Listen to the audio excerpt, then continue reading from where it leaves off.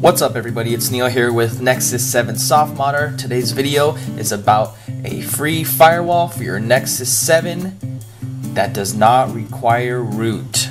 So there are popular um, applications for firewalls that require root. This one does not and it's as good and I think a lot more user friendly. And uh, let's show you how to do this go into Google Play and download the application called No Root Firewall. Um, as the name implies, you do not need root. Let's open it up.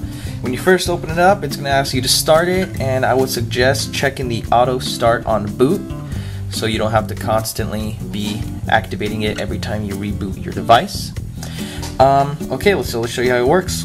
When you go, let's say, let's say you're using YouTube, you're gonna get a notification because YouTube's trying to access the internet. Tap that notification, it's gonna take you to the pending access tab. From here, see all recent uh, pending uh, accesses, and uh, from here you can allow or deny. But I'm gonna allow these. Alright, so let's say there's an application like your browser that you don't want to always get a notification about and you don't always want to have to um, give approval. Go into apps, find the application, in this case it's Chrome, mine's already checked but normally it would be in a blank state.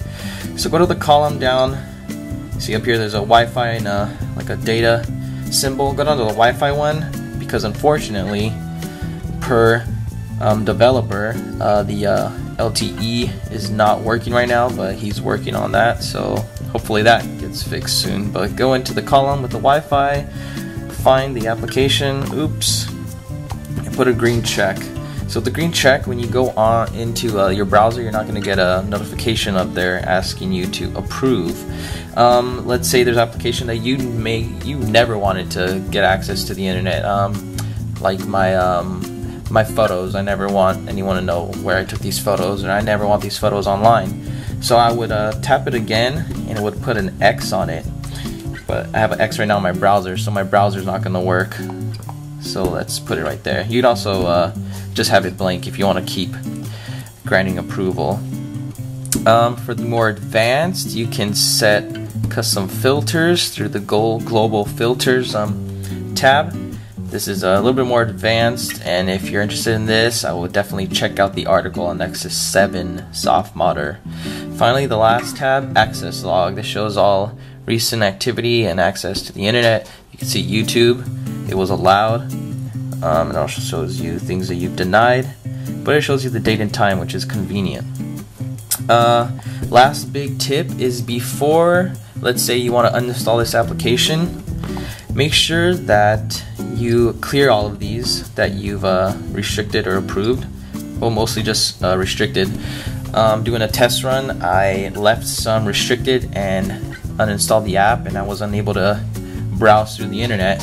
But then I just rebooted my device and it worked. But let's just say that's not going to work for you all the time rebooting your device. So I'm letting you know to make sure that you take those X's off and clear everything before you take this application off. Uh, definitely check out the full article on Nexus 7 soft Softmodder because it's detailed and everything you need to know is in there. Uh, again, thanks for watching. Comment with questions, subscribe, and enjoy this because it's free.